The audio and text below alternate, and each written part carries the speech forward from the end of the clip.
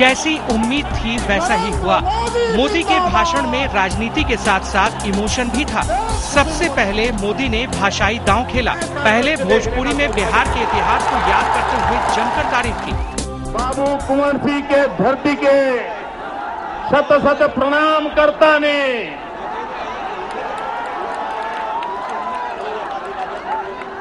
देश में कोनो परिवर्तन बिहार की माटी के बिना संभव नहीं थे।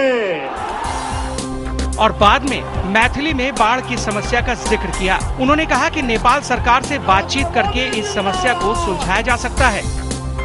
पूरा मिथिलांचल बाढ़ से त्रस्त रही थी। भारत नेपाल से मिल एकता कोसी के पेन रोक के व्यवस्था बजाए तब बिहार खुशहाल बजतई। गांधी मैदान में लगातार गूंज रहे मोदी मोदी के नारों ने मोदी को ये कहने को भी मजबूर कर दिया कि वो अगर सरकार बनाते हैं तो बिहार के इस प्यार को ब्याज सहित वापस करेंगे यानी बिहार को विशेष राज्य का दर्जा देंगे। अब 200 दिन का सवाल है।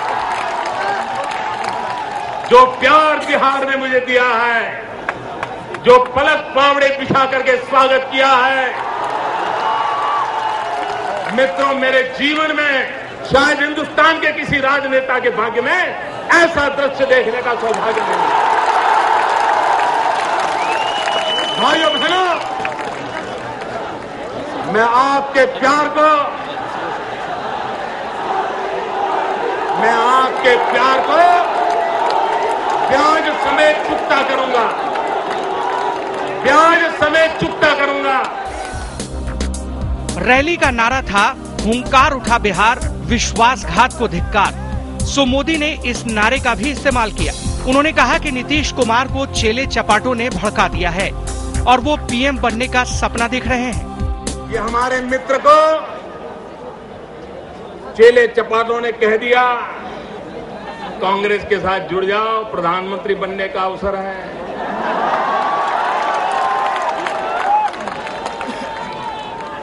ख्वाब देखने लगे।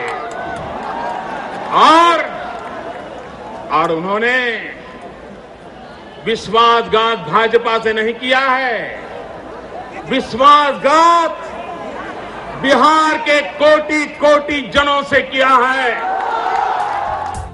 पूरे भाषण में मोदी लोगों से सवाल पूछते थे और लोग पूरे जोश के साथ उनके सवाल का जवाब देते थे।